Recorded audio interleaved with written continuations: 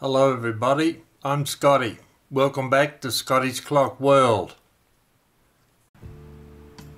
This is a Black Forest cuckoo clock, made in South Germany of course. It has a 30 hour movement in it, which means it has to be wound every day. Nice dark wood. I like that, the, the pale walnut colour hmm, doesn't quite do it for me, but this is nice and dark. That's a change rolled up there. Put that down for a moment. That's the topper in pretty good shape except that just the tip of the beak there has been rubbed or broken off. I'll smooth that down the same as that last little bit on the on the wing there. I'll smooth them down and restain them before they go back on the clock. That's the pendulum, the original one. And these are the weights. Interestingly enough, they weigh 445 grams and a 30 hour movement clock usually takes 275 grams. So we'll have to investigate that when we get further into the clock. You'll notice these are, are quite old weights you can tell that by the fact they haven't got the weight stamped on them like modern weights. We'll count the number of links on the chain later on. It should be 61 links per foot for a 30 day movement.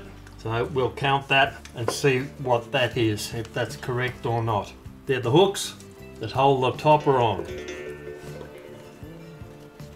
Undo the latch at the back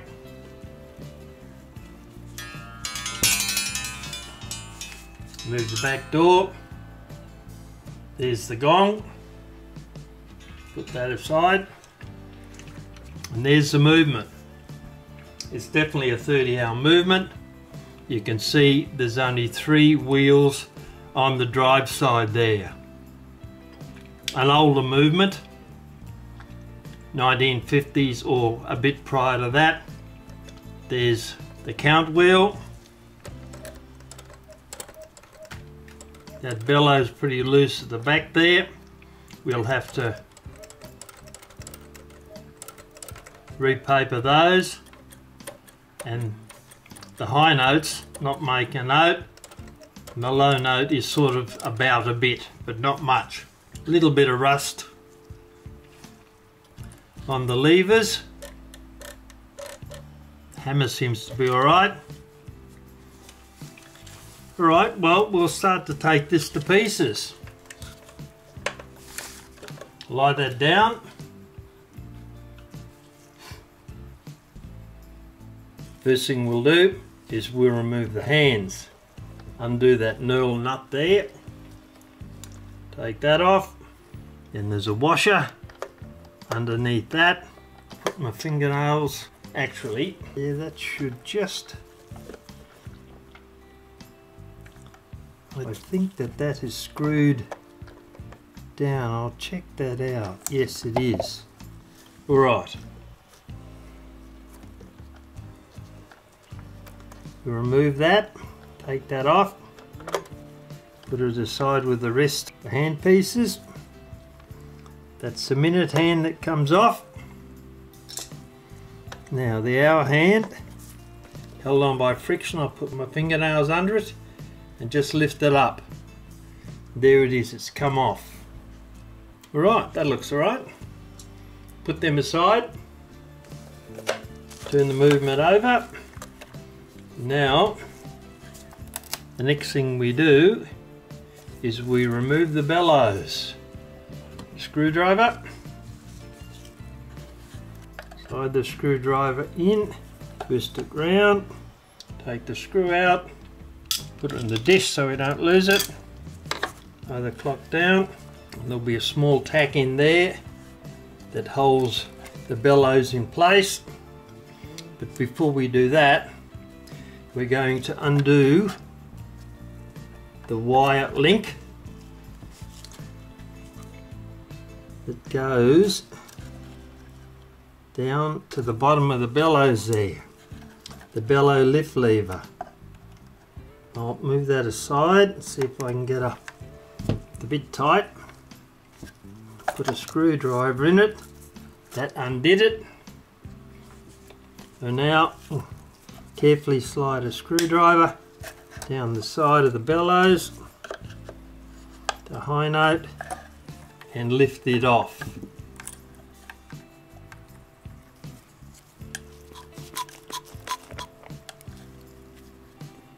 Not making a note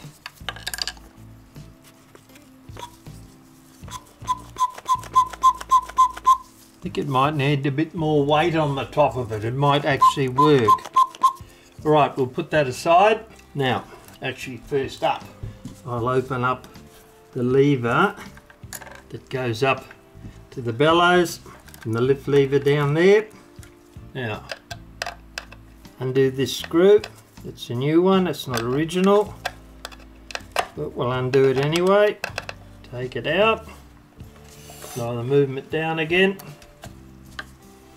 and then very carefully a screwdriver we'll slip it underneath and then very tweezers might help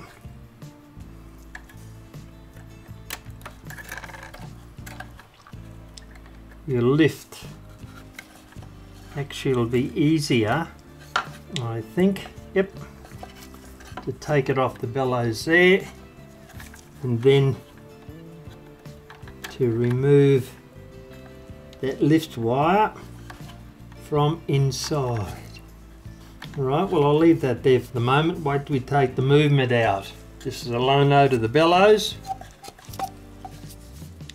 This one's loose at the back. You can see the pretty decent sized hole in there so they'll have to be redone. This piece of wire here is the wire that lifts the back of the the little bird. So it bobbed its head up and down. And now we're about ready to take the movement out, but before we do, we'll take the chains out.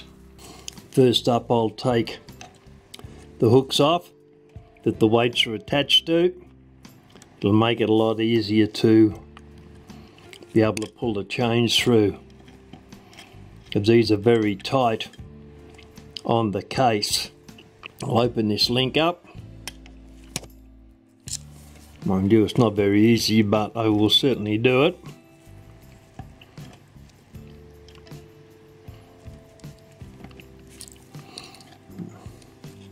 I'll get another pair of pliers and with serrated jaws to get a hold on the link because it's slipping out of the other pliers.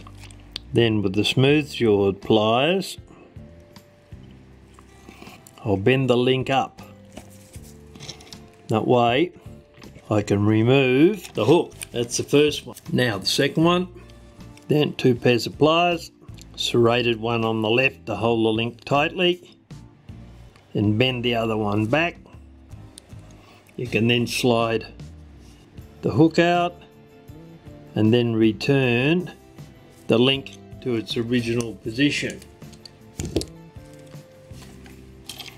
Now we should be able to pull the chains through easily enough. And there we go, chains are gone. Put them aside. Now we're going to take the movement out of the case. Tiny little screws, really small ones. They're very small screws. I suppose it's a light movement so it doesn't need heavy screws. See if we can collect it with our magnet. Not quite. Oh, it needs a little bit more. It should be right this time. Hmm, not so. Alright, we'll try these locking scissors, see what we got. Well, I would have thought that that had come out completely. Obviously it hasn't. On to the next one. They are tiny little screws virtually impossible to see way down there. The slots in those need to be redone before they go in. Yeah, they're really poor quality. I'll see if I can get that out, but we'll definitely go over the slots. Right, what do we got up here in the top part? See what we got. Another two tiny little screws. Oh, that looks like fun. All right, off we go. You'd reckon that should be out. It's only a tiny little screw. I think it's going to stay in there for the moment though. Right, we'll take the other side out. Well, that's loosened all the screws. Finally, now we can take the movement out. Make sure we don't get the pendulum leader caught. Oh, not good. I forgot to take the hook off the little bird on the front door. Alright, I've remedied that situation. Now we can take the movement out. Careful of the pendulum leader. Remove the case.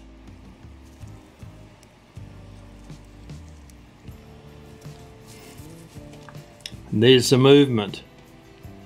At the back of it, the count wheel, the lift levers for the bellows, there and there. I'll remove that. Get that out of the road, thank you. The pendulum leader.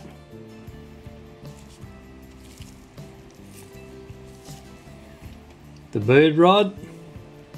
There's our little bird. Turn it over to the front.